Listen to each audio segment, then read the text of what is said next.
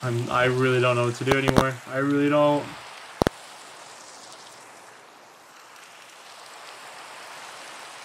Should I hide in the cave?